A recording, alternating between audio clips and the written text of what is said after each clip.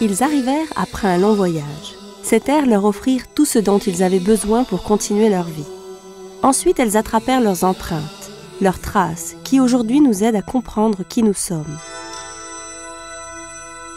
Un travail que les spécialistes réalisent pas à pas, à la recherche de notre origine. Oh,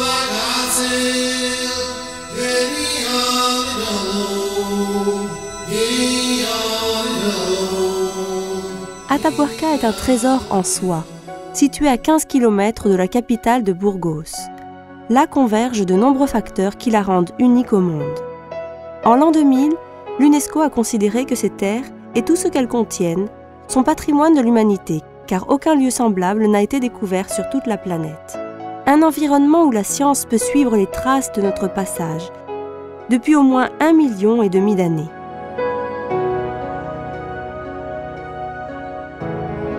Sous son sol, s'étendent près de 4000 mètres de galeries et de conduits.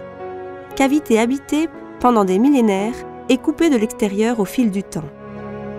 Les grottes colmatées sont demeurées cachées jusqu'à ce qu'au XIXe siècle, une compagnie anglaise réalise le projet d'un train minier.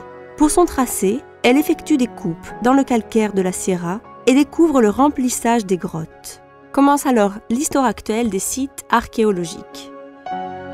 Les découvertes et les explorateurs du XXe siècle tels que le groupe spéologique Edelweiss et Trinidad Torres, mettent le paléontologue Emiliano Aguirre sur la piste de l'importance des sites. C'est le premier à entreprendre le travail sur le terrain. Les premières années sont dures. Commence alors à germer une équipe qui abordera l'étude d'une époque pratiquement inconnue jusque-là pour le registre fossile mondial, le Pléistocène. En 1990, Emiliano Aguirre laisse la place de la direction du projet de recherche d'Atapuerca à Juan Luis Arzuaga, José María Bermúdez de Castro et Eudal Carbonel. Les trois codirecteurs donnent alors forme à une équipe capable de faire de la recherche ensemble dans la Sierra. Ils sont spécialistes dans diverses disciplines, dont les travaux ont obtenu la plus haute reconnaissance. Aujourd'hui, c'est une référence essentielle pour l'étude de l'évolution humaine dans le monde. Le travail sur le terrain apporte à la Sierra le bruit des pics. Sur chaque site ouvert, une équipe travaille intensément, à l'air libre, à l'intérieur des grottes, dans la tranchée ou sur les berges de la rivière Arlanson, où l'on récupère même les plus petits fossiles. Chacun d'entre eux nous parle d'une époque différente. Des études complémentaires pour comprendre globalement ce qui s'est passé au cours du dernier million et demi d'années une échelle évolutive que nous commençons à partir de la base. La Simone à l'Elefante renferme les époques les plus anciennes étudiées jusqu'à présent à Atapuerca. Il y a un million et demi d'années, une espèce encore non déterminée laissa les traces de son existence dans cet espace. Il s'agit des fossiles humains les plus anciens du continent européen. Leur découverte a ouvert de nouvelles lignes d'études qui indiquent que notre long voyage évolutif ne provenait pas de l'Afrique, mais en fait de l'Asie.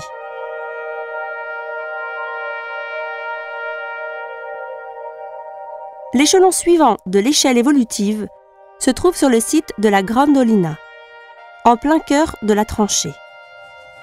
S'il est vrai que le train minier a emporté une partie des sites, sans lui, nous en serions encore à marcher sur la clé de l'évolution en Europe, sans même le savoir.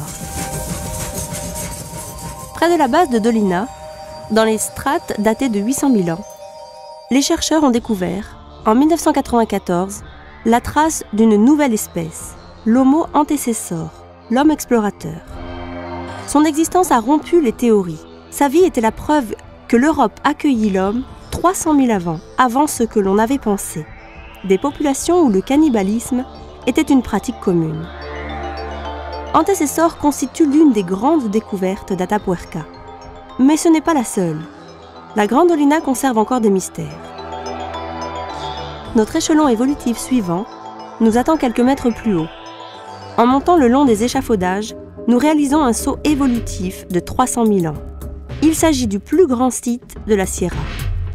Dans cet espace et dans la grotte de la galerie se trouvant à côté, demeurent les traces de l'Homo bergensis. Nous les connaissons. Nous savons bien comment ils étaient grâce aux données que les chercheurs ont trouvées dans un autre site unique au monde, la Cima de los Huesos. 30 corps de femmes, d'hommes, de personnes âgées et d'enfants jetés intentionnellement par les leurs à l'intérieur de la Terre. Un geste symbolique qui ouvre les portes au premier sanctuaire de l'humanité.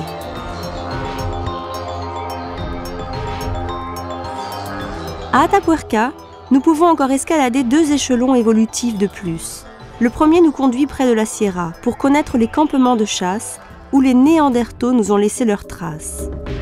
Il reste encore à récupérer leurs fossiles, mais nous avons la certitude qu'ils ont également vécu à Atapuerca. Au sommet de l'évolution, les sapiens sapiens. Sur les sites du Mirador et du Portalone, l'équipe a travaillé afin de nous apporter des données sur les communautés qui ont habité la région depuis le néolithique jusqu'à l'âge de bronze.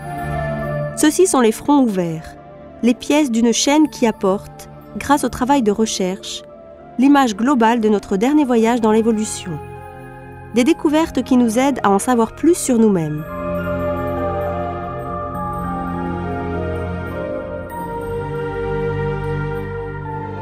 La clé nous attend à Atapuerca.